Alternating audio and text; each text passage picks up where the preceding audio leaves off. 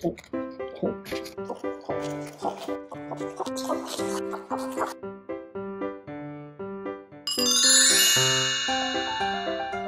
皆さん、こんにちは。三流心理カウンセラーです。今回レビューするのは、KZ が10周年記念として発売したことで少し話題になっている ESX です。10周年記念モデルってことで、なんとなくこう、外箱なんかも気合が入っているような感じに見えますね。最近の KZ は、Twitter のオーディオファンの間では黒い噂が絶えなかったんで、そろそろお名挽回してほしいところかなというところで、この KZ の10周年記念モデル ESX が出ました。ちなみに ESX は Amazon では4300円で販売されています。アリエクスプレスでは2000円前後で販売されていて、タイミングが合うと2000円を切る価格で購入することもできます。アリエクスプレスはチャット欄から価格相談できることが結構あるので、試しにクーポンをくれないか尋ねてみるのもいいかなと思います。多くのセラーは英語で対応してくれるので、Google 翻訳を駆使して価格交渉してみると面白いかなと思いますよ。話が少しそれましたが、KZ といえば、個人的には私が中華イヤホンの沼に引きずり込まれるきっかけとなったダイナミックドライバーとバランスドアマチュアを一気ずつ搭載した ZST や白日イヤホンとして有名になった 3BA の AS06。最近では 3DD の変態構成イヤホンの DQ6 や 1DD と 7BA の ZAX や ZS のように複数のドライバーを搭載したマルチドライバー構成のイヤホンが頭に浮かびます。シングルドライバー機では出せない複雑な音のつながりとか、時にはこの不自然さが感じる時もあるんですけど、独特の世界観を持った KZ のマルチドライバー機は独自の魅力を醸し出して中毒性の高いサウンドを提供してくれました。そんな中で今回登場したこの ESX、なんとこの ESX ついに新開発の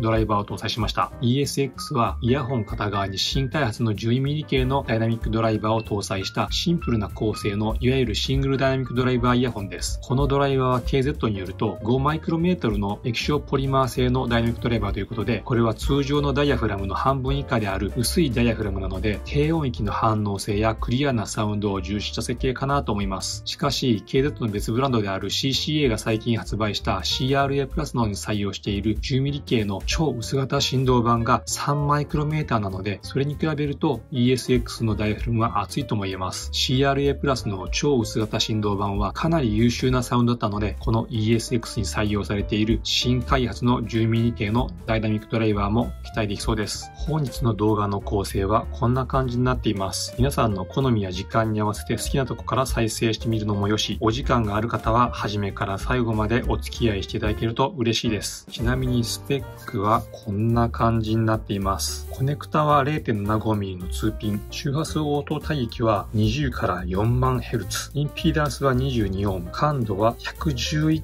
1.59プラスマイナス3デシベルとすごく細かく表示されてますね。まあ、じゃあとりあえずささっと開けてみましょうか。おおこれは。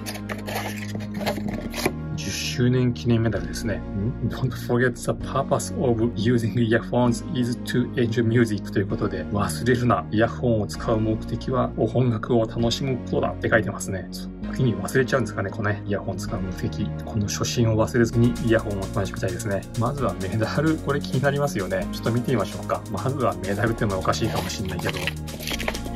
メダル出したいけど、メダルは、メダルは取れるのか、これは？まずイヤホン取っちゃおう。イヤホン外して、メダル、メダルも取れた。キラキラのメダルだ10周年。裏面には KZ のマークが輝いています。ちなみにこれはプラスチック製かなのビルドクオリティがなんかあんまり良くないような何に使っていいかさっぱりわからないメダル。この辺りがやっぱり KZ、KD さん素晴らしい。ちょっと付属品見ていきましょうかね。付属品はケーブル。これあれだなきっと。CCA の CRA プラスについてたマロニーちゃんケーブルかなマロニーちゃんケーブルだこれ。このケーブルなかなかいいですね。つるっとしていて、最終感触も悪くないです。で、そしてイヤーピースは、実はこの最近の KZ についてる白いペラペラの TWS に使えそうなあれですね。軸が短い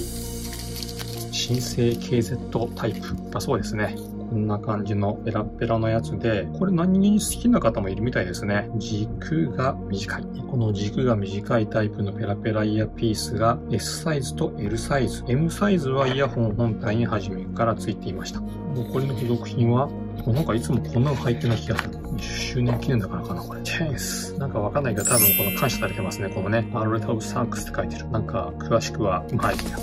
そして、あとは、大体いつもの説明書ですよね。大きい音で聞きすぎなよってやつ。そして今回は6月20日、SL ですね。SL って何でしょうね、これね。まあ、置いといて、イヤホン本体見ていきましょうか。イヤホン本体は、こんな感じです。ノズルが結構長め、長いノズルなので、おそらくあの音場が広く聞こえるんじゃないかなという印象です。表面こんな感じで、なかなかかつての KZ では見たことがないけれど、KZ らしい独特な質感になってます。結構凝ってますね。これ亜鉛合金かな？青いところは別で樹脂が流し込んであるような。で、サイドにスリットのような形で、これベント鋼なのかな？ちょっと新しいですね。メッシュ状のベント鋼。こんな感じになっています。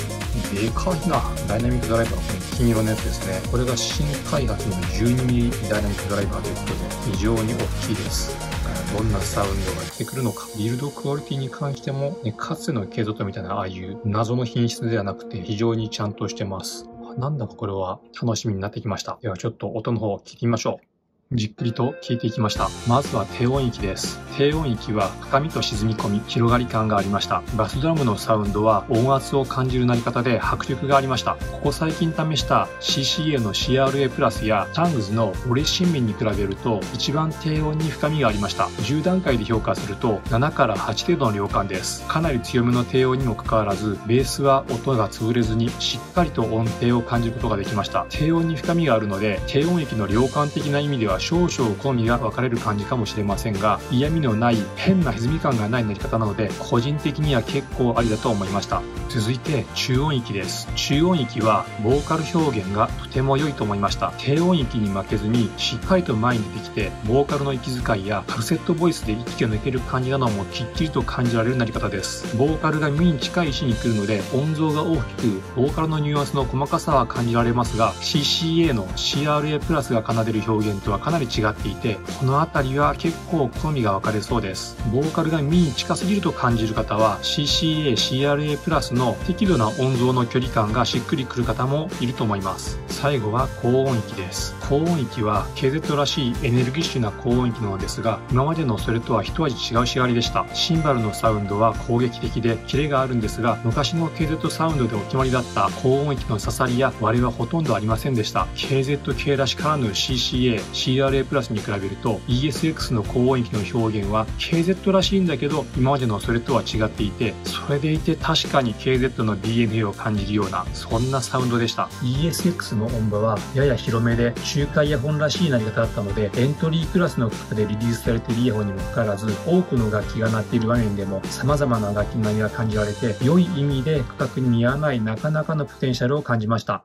本日は KZ の10周年記念としてリリースされた ESX についてレビューしていきました。ESX はイヤホン片側に新開発の直径 12mm の大型なダイナミックドライバーを搭載したシングル DD イヤホンでした。この大型のドライバーは液晶ポリマーで作られた5マイクロメーターという通常のダイヤフラムの半分以下の薄さのダイヤフラムで実際に迫力ある低音域とクリアなサウンドを両立していて今までの KZ イヤホンでは聞いたことがないサウンドを奏でてくれました。KZ といえばえば、音作りやビルドクオリティ、匂いとか、あと販売方法、何かしら突っ込みどころがあるのがケーズトらしさな気がします。しかし以前にレビューした CCA、CRA プラスにしろ、今回の KZ、ESX にもしろ、あまり突っ込みどころがないのがなんだか寂しい気がしました。あえて突っ込むとしたら、付属している謎の10周年記念メダルが勝負をいことくらいかなと。そういった様々な点を考慮すると ESX は個人的にコスパがかなり高い一本だとと思いました。